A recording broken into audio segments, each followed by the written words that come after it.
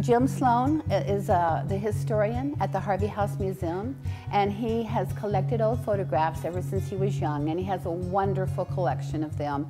And he will be doing a presentation on Belen in photos. 2009 was our centennial, and we came up with a whole lot of special events for that special year, and the lecture series was one of the things that we came up with.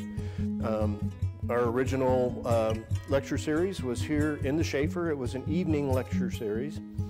And uh, we've had some rendition of a lecture series pretty much since then, but about five years ago, Dixie and Donna took that ball and ran with it, and they're doing an excellent job.